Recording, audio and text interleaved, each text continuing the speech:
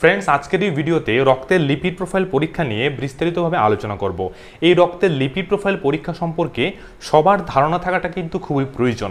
কারণ এই পরীক্ষার সাথে আমাদের হার্ট এবং শরীরের অন্যান্য সমস্যা কিন্তু জড়িত থাকে। রক্তের এই লিপিড প্রোফাইল পরীক্ষাটা শরীর থেকে ব্লাড স্যাম্পল নিয়ে ল্যাবরেটরিতে টেস্ট করা হয়। এই ব্লাড স্যাম্পলটা দেওয়ার পূর্বে খালি পেটে ব্লাড দিলে খুব ভালো হয়।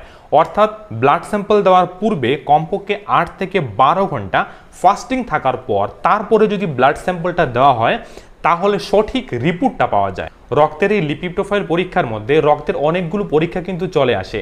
তার মধ্যে আছে টুটেল কোলেস্টেরল ট্রাইগ্লিসারিড এলডিএল যাকে আমরা লো ডেন্সিটি লাইপোপ্রোটিন বলে থাকি এইচডিএল হাই ডেন্সিটি লাইপোপ্রোটিন বা ভিএলডিএল অর্থাৎ ভেরি লো ডেন্সিটি লাইপোপ্রোটিন এই পরীক্ষাগুলোর যে নর্মাল ভ্যালুটা অর্থাৎ নর্মাল যে রেঞ্জটা সেটা কি হয়? এখানে আমি চার্টের মাধ্যমে দিয়ে দেব, আপনারা দেখে নেবেন। এবার আমরা জানব কখন বা কেন এই রক্তের লিপি প্রোফাইল পরীক্ষাটা ডাক্তারবাবুরা দিয়ে থাকেন এবং আপনাদের কখন রক্তের লিপি প্রোফাইল পরীক্ষাটা করানো উচিত।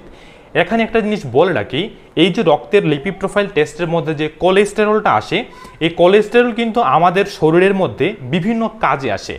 যেমন ভিটামিন হরমোন এছাড়া আমাদের যে শরীরের নতুন যে কুশ তৈরি হয়, তার ক্ষেত্রে কিন্তু সেই কোলেস্টেরলটা একটা বিশাল বড় ভূমিকা পালন করে থাকে।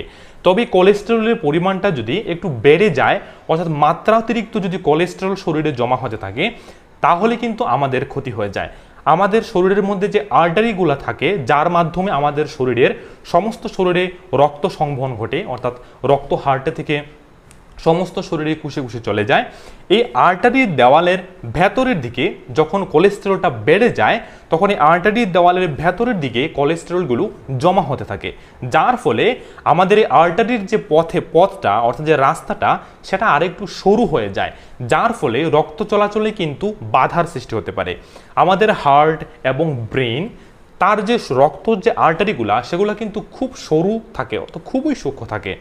ওইসব জায়গাতে যখন এই কোলেস্ট্রলগুলো জমে যায়, অর্থাৎ ওইসব হার্টে বা আমাদের ব্রেইনের কোনো আর্টারির ভেতরে যখন কোলেস্ট্রল জমতে থাকে এবং পথটা শুরু হয়ে যায়, অনেক সময় সেটা ব্লক করে দেয় ওই সময় কিন্তু আমাদের হার্ট অ্যাটাক বা স্ট্রোকের মতো বড় সমস্যার সম্মুখীন আমাদের হতে হয়। এইসব বিষয়ে চিন্তা করে বা যাদের আর্টারি ব্লকেজের লক্ষণ পরিলক্ষিত হয়, এছাড়া পূর্বে ওদের হার্ট অ্যাটাক বা স্ট্রোকের সমস্যা হয়ে গিয়েছে এবং বর্তমানে এমন কোনো লক্ষণ পরিলক্ষিত হচ্ছে। যেমন একটু জুড়ে হাঁটা চলা করলে বা একটু পরিশ্রমের কাজ করলে খুব বেশি কষ্ট হওয়া বা একটু সিঁড়ি উঠানামা করলে শ্বাসকষ্ট হওয়া বা বুকটা ধড়পড় করা। এছাড়া যাদের শরীরে একটু চর্বি বেশি, অর্থাৎ যারা একটু অবেস যারা আছেন তারা, এছাড়া যারা ফাস্টফুড জাতীয় খাবার বা চর্বিযুক্ত খাবার খুব বেশি পরিমাণে গ্রহণ করছেন, এছাড়া তাদের ডায়াবেটিক আছে বা হাইপারটেনশন আছে, এইসব রুগীদের বিভিন্ন পরীক্ষা নিরীক্ষার ক্ষেত্রে ডাক্তারবাবুরা রক্তের লিপি প্রোফাইল পরীক্ষাটা কিন্তু দিতেই পারেন। এছাড়া আপনি অবশ্যই আপনার রক্তের যে রুটিন চেক আপটা সেটার জন্য আপনি লিপি প্রোফাইল পরীক্ষাটা করে দেখতেই পারেন যে আপনার শরীরের কোলেস্ট্রল ট্রাইগ্লিসারাইড এলডিএল ইত্যাদির মাত্রা সঠিক পরিমাণে আছে কি না এছাড়া আমাদের এই লিপিড ফল পরীক্ষার মধ্যে যে ট্রাইগ্লিসারিড যে বিষয়টা, সেই ট্রাইগ্লিসারিডটাও কিন্তু আমাদের হার্টের পক্ষে খুব বেশি ক্ষতিকারক, কারণ এই ট্রাইগ্লিসারিডের মধ্যেও ফ্যাট বা লিপিড সেখানেও কিন্তু থেকে যায়। এছাড়া এই এই টেস্টের মধ্যে যে এলডিএল যেটা আছে লো ডেন্সিটি লাইপোপ্রোটিন এটাকে ব্যাড কোলেস্ট্রল বলা হয় এবং যেটা এইচডিএল অর্থাৎ হাই ডেন্সিটি লাইপোপ্রোটিন এটাকে গুড কোলেস্ট্রল বলা হয়ে থাকে। বর্তমানে বেশিরভাগ মানুষই অয়েলি ফ্যাটি ফাস্ট ফুড ইত্যাদি খুব বেশি পরিমাণে খেয়ে থাকেন। এছাড়া একটা বাজে লাইফস্টাইলের কারণে খুব কম বয়সে, যেমন পঁয়ত্রিশ থেকে চল্লিশ বছর বয়সের মধ্যেই বিভিন্ন হার্টের সমস্যা স্ট্রোকের সমস্যা, রক্তনালীর বিভিন্ন সমস্যায় কিন্তু ওরা ভুগছেন।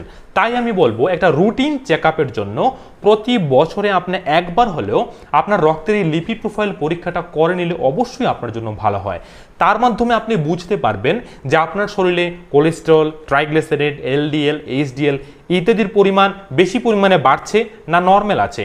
যদি পরীক্ষার মাধ্যমে দেখেন যে আপনার রক্তে এইসবের পরিমাণটা খুব বেশি পরিমাণে বেড়ে গেছে বা প্রথম অবস্থায় আছে, তাহলে অবশ্যই আপনি সাধারণ কিছু লাইফস্টাইল পরিবর্তনের মাধ্যমে বা একটা ভালো খাদ্যের অভ্যাসের মাধ্যমে ঔষধ ছাড়াই খুব সহজে আপনি সেটাকে এক থেকে দু মাসের মধ্যে কন্ট্রোল করতে পারবেন। এবং পরবর্তী সময়ে বড় ধরনের স্বাস্থ্য সমস্যা, যেমন হার্ট অ্যাটাক স্ট্রোক ইত্যাদি থেকে আপনি নিজেকে বাঁচাতে পারবেন।